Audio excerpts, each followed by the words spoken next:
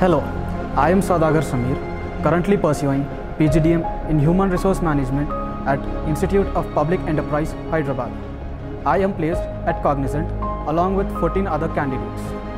I am selected for the role of an HR junior executive. The role is recruitment and selection. The HRM course at IPE helped me to practically understand how the HR functions operate.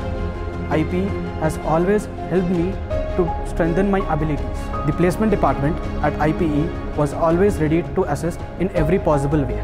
They conducted various placement sessions which helped me in improving my ability skills and various other skills for the placement process. Placement department always made sure to find me the best company with my abilities and my skills. Therefore, I would like to thank IPE and the placement department. Thank you.